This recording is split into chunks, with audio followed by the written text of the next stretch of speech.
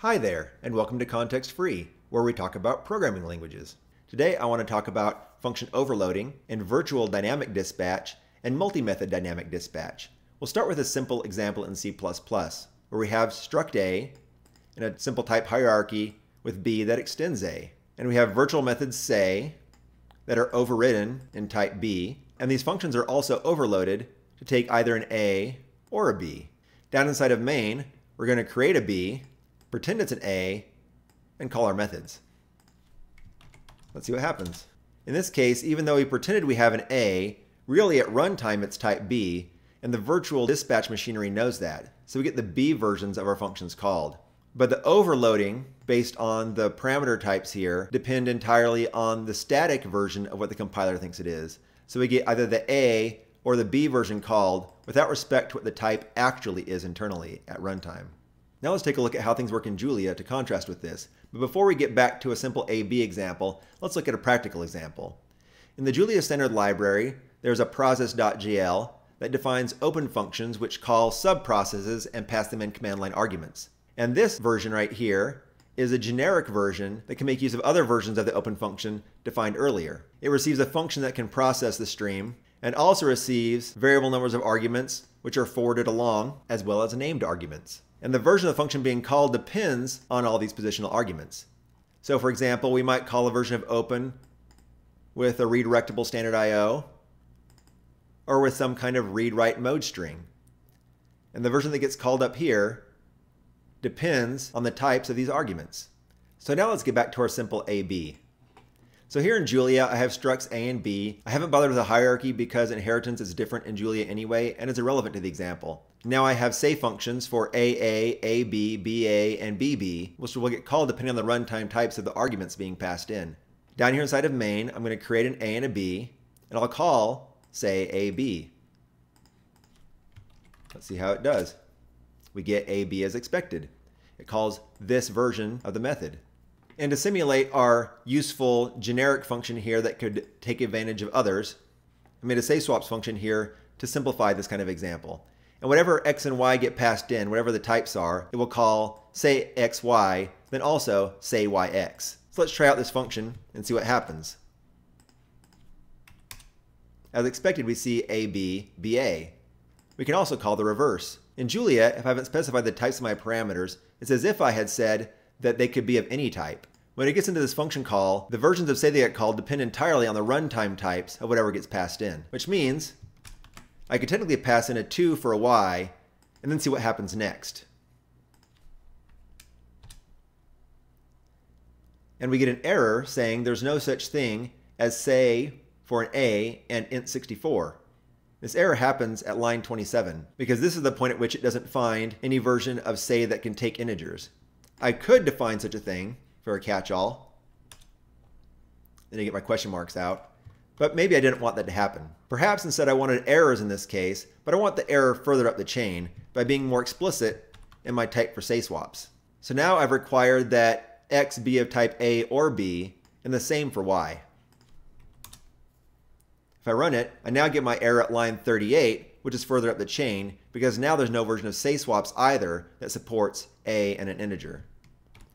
Before we move on from Julia, let's take a look at named arguments also and how those work. First of all, we can expect I might have a problem because of the squigglies, and I do indeed. And the issue is that in Julia, parameters are either positional or named, but not both. So for example, I could make a new version of say that takes named parameter c of type int. And I specify name parameters by putting them after a semicolon.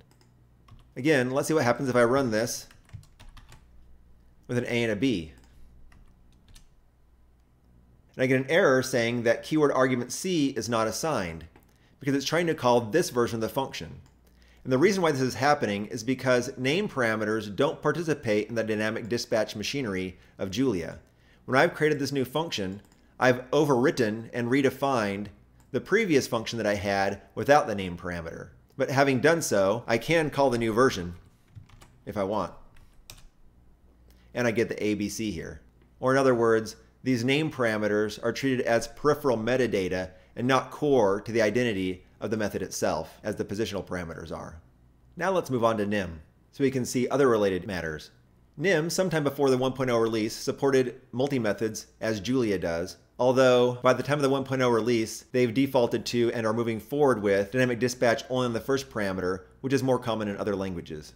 So here, like in C++, I've created a type hierarchy of A and B that extends A, and I have my four versions of my method, which I identified use dynamic dispatch by calling them methods rather than a procedure or a function. Over down here in main, I create an A and a B, and I call, say, AB. Let's see what this does. It says AB as expected. Also, interestingly in NIM, I can use universal function call syntax so that it looks like a method call, and this might help for interpreting the semantics or for improving auto completion in an editor. And I still get AB as before. To point out where static and dynamic dispatch are happening, let's do some casting between our types. Let's pretend our B is an A and see what happens we get AA because the overloaded version for anything after the first argument is dependent on the static type of our argument rather than the actual runtime dynamic type. So we get AA here instead of AB. However, just like in C++, if I cast the first argument up the chain, NIM still remembers at runtime what that type is. And I get the BA version called, despite the cast. Also worth pointing out that we can still make our generic procedures here and even constrain them on being A or B like we had in Julia in order to make a generic function that can call any versions of the overloaded from earlier. And before we move on from NIM, let's take a look at named arguments again. Because in NIM, parameters can be used in either a named or positional manner, so I can try to say A equals A and B equals B. However, we have a problem with this because it says it doesn't know which version of the function to call. I have to make at least one of these positional for to know which overloaded version of the function to call. Also worth pointing out in NIM that we specify our base methods explicitly and don't specify anything on the overridden versions, which is the opposite of what we see, for example, in C++ or C Sharp, where we instead annotate our overridden versions. Let's move on to C Sharp now, where we have a simple class hierarchy again. And unlike C++, I'm not going to make virtual methods. For the moment, I want to emphasize what happens with overloaded parameters instead. And down here in main, I'm going to create an A and a B and call, say, AB. And as we expect, we get our AB out. Just like we might expect to see in C++, any of this overloading depends on the static type known to the compiler and not the dynamic type known at runtime. So if I cast B as A, I get an AA. And similarly, since I'm not using virtual methods in my class hierarchy, if I cast the first parameter, I also get the AA again. Let's now work out a generic version of say swaps like we had before in Julia and NIM. And it might be nice to have a static dispatch version of this. There's not really a way to express the constraints on X and Y, and C Sharp won't create versions of this function for us to handle the various static dispatch options available. But we can use the dynamic type to get multi-methods just like we had in Julia. And that's one of the things that makes C-sharp interesting for the examples today. So I call this say swaps AB. We get our ABBA as expected. And furthermore, to point out this is dynamic dispatch, I'm going to cast B as A and see what comes out. And I get ABBA again, despite the cast, because this dispatch is based on the runtime type. Now, of course, there are many languages in the world that don't support overloading at all. For example, JavaScript, where I guess you could call different class methods overloading in a sense, just like we saw with the virtual methods in C++. But in terms of the parameters themselves, there's no overloading. Whenever you say a function say or say swaps, there's only ever one version of that function. And this is also a design decision I can respect because there's some sanity involved in knowing that when you give a name, you know what it's referring to. However, in TypeScript, being JavaScript, you can't give more than one implementation of a function.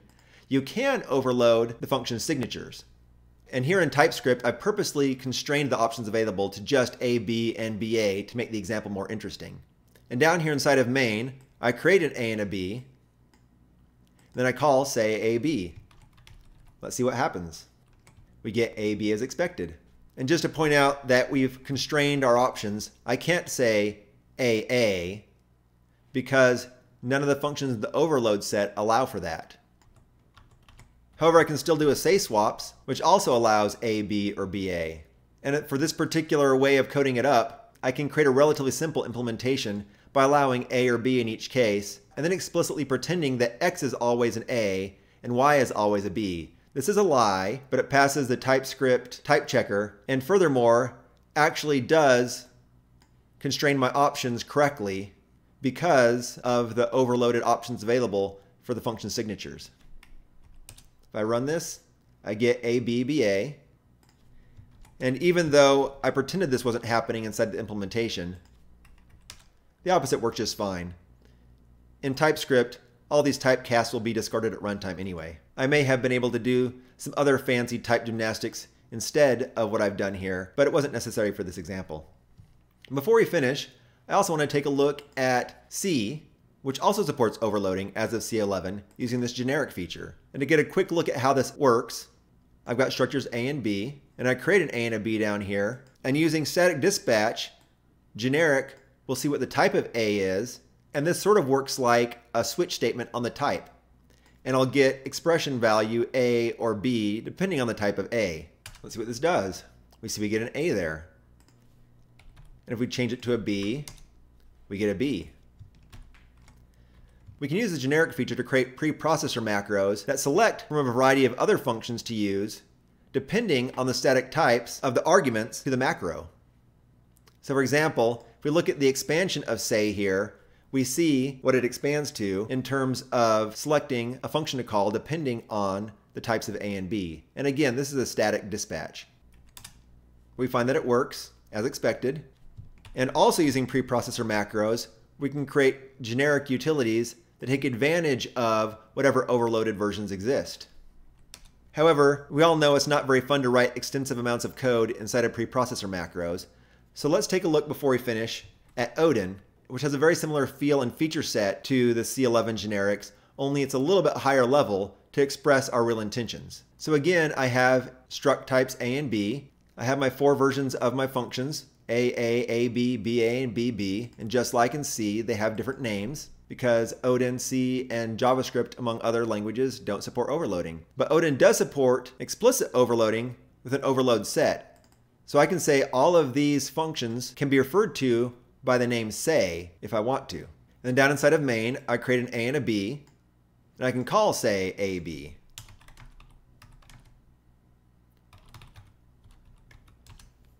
And if I run it, I get AB out like expected. And say swaps also works like I'd expect it to. ABBA. Anyway, I hope this has been fun, and perhaps we can look at these kinds of issues again in the future. If you like the video, be sure to subscribe. Bye, y'all.